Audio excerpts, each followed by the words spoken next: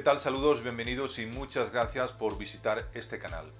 En esta ocasión hablamos del sentido literal y del sentido figurado, un asunto que tiene que ver con el significado de las palabras. Por lo tanto, vamos a ello.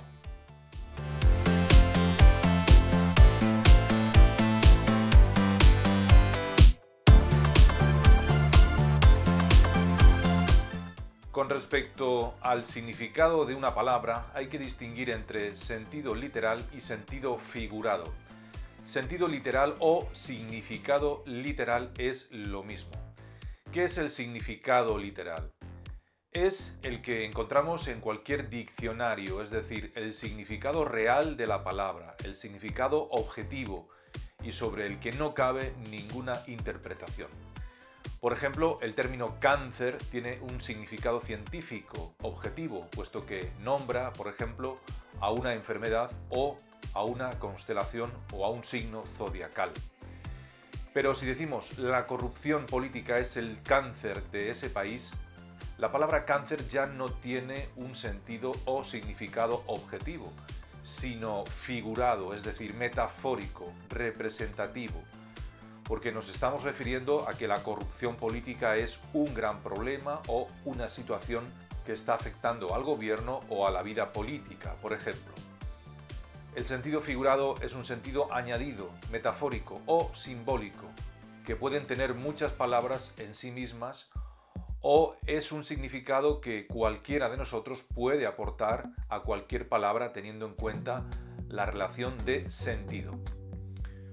Otro ejemplo, el sentido o significado literal de perro es mamífero doméstico de la familia de los cánidos, de tamaño, forma y pelaje muy diversos según las razas.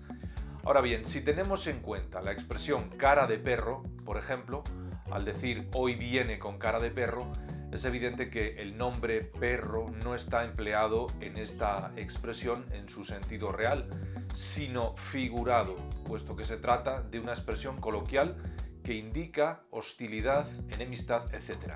Es decir, el sentido figurado de perro es muy distinto en esta expresión.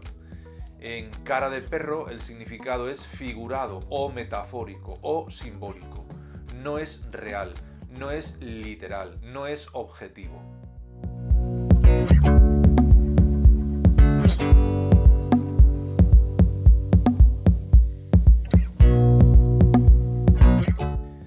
Finalmente, otro caso más. Los sustantivos cabeza o pie tienen muchos significados. En realidad, objetivamente, ambos son partes del cuerpo.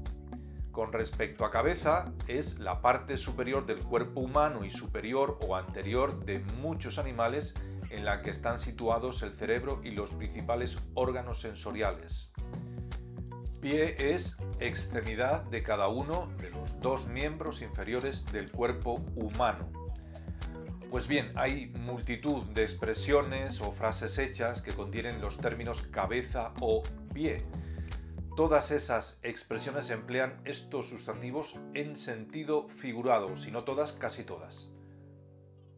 Cabeza de partido, cabeza de turco, cabeza tractora, abrir la cabeza, apostar o apostarse la cabeza, calentarle a alguien la cabeza, levantar cabeza, etc. Con la palabra pie vamos a decir algunas expresiones que contienen ese sentido figurado que hemos comentado. Pie de imprenta, pie de rey, a los pies de alguien, a pie de obra, besar los pies a alguien, caer de pie o de pies a alguien, con buen pie, etc.